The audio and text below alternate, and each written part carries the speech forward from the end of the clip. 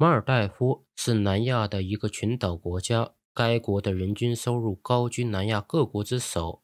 它是世界上地理分布最分散的主权国家，也是亚洲面积最小的国家。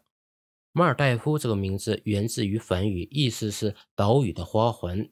它由一千一百九十二座珊瑚礁岛组成，其中百分之八十以上的土地海拔不到一米，因此它是世界上地势最低的国家。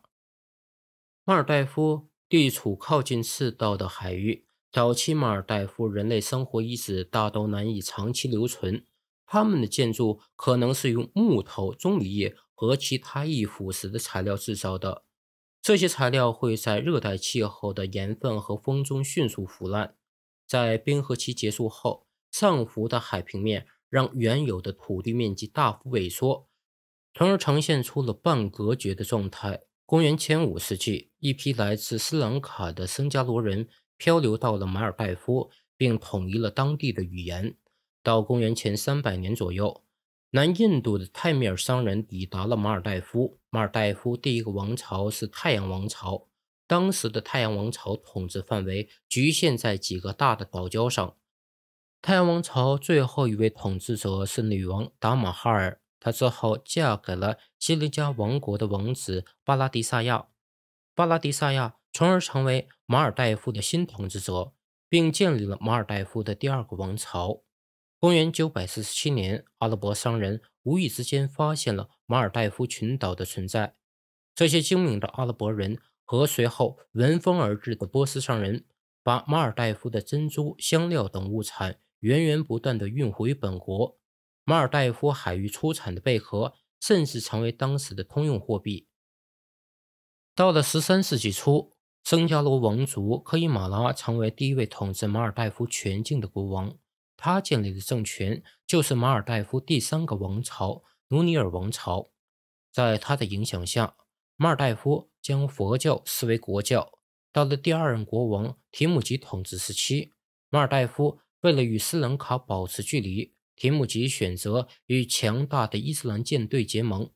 伊斯兰教随之取代了佛教的地位。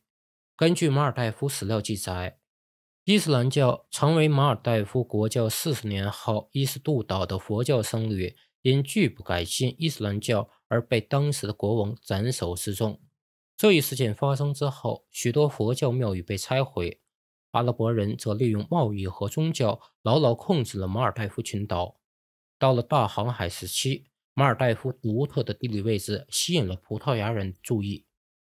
葡萄牙随后利用马尔代夫内斗，毫不费力地控制了该群岛。然而，这种行为引起了马尔代夫人民的强烈不满。随后，驻扎在马尔代夫的葡萄牙军队被一举消灭。但是，葡萄牙人并不死心。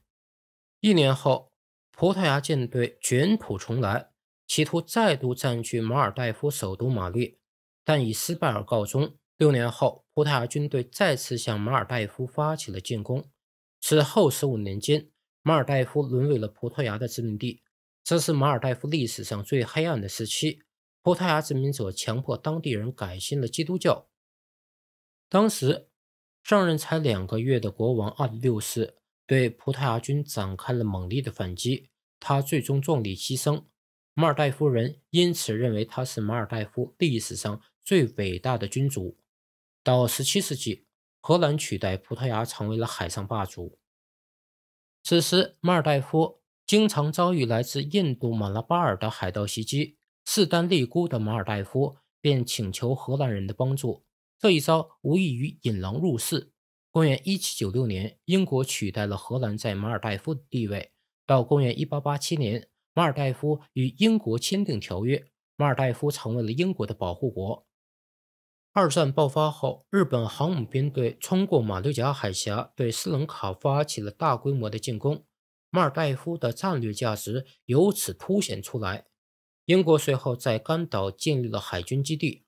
二战结束后，英国同意放弃干涉马尔代夫的内政，但条件是马尔代夫需要继续受英国的保护。随后，马尔代夫通过全民公投确立共和制为该国的政体。马尔代夫共和国成立后，引起国内保守势力和英国殖民势力的全面反弹。当年八月，副总统易卜拉欣发动政变，夺取了政权。随后，易卜拉欣向英国要求归还军事基地。英国随即派遣军队支持马尔代夫的分裂主义者，成立苏丹迪夫群岛联合国。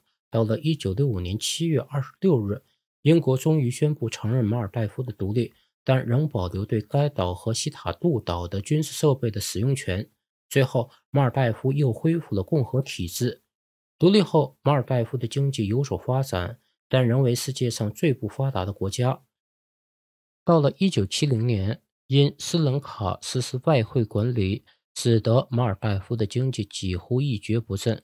英国又于五年后决定关闭其在甘岛的机场，让问题雪上加霜。自从英军撤离马尔代夫之后，马尔代夫失去了军事基地的租金收入。这使得马尔代夫的国家元气大伤。在这种情况下，伊普拉辛总统在丢给马尔代夫数以百万美元的债务后，于1978年逃往了新加坡。同年，加姆成为马尔代夫的新任总统。其后，马尔代夫将目光投向了旅游业。经过四十多年的发展，旅游业已经成为该国头号支柱产业。其收益长期占 GDP 总值的百分之三十，外汇收入的百分之六十，并创造了约百分之二十的就业机会。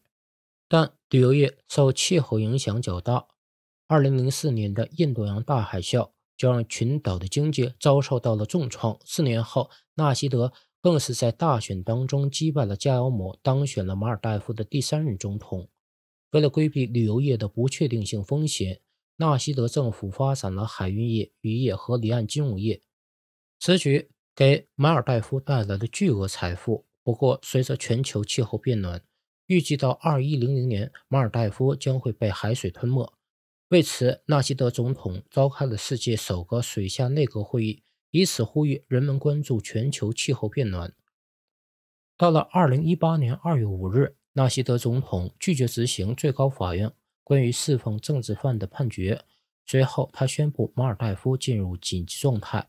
当晚，他还下令逮捕了最高法院的两名法官。之后，马尔代夫的军队加入了反对阵营。纳西德被迫将总统职权移交给副总统瓦西德。瓦西德的短暂任期被认为是马尔代夫历史上最动荡的时期之一。在一年后举行大选中。他仅获得了不到百分之六的选票，最终加尔姆的同父异母弟亚明当选了新任的马尔代夫总统。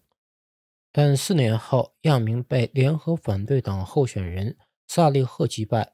二零二二年十二月二十五日，马尔代夫的刑事法院判处亚明十一年有期徒刑，并处以五百万美元的罚款，原因是他从一家私营的公司收取了回扣。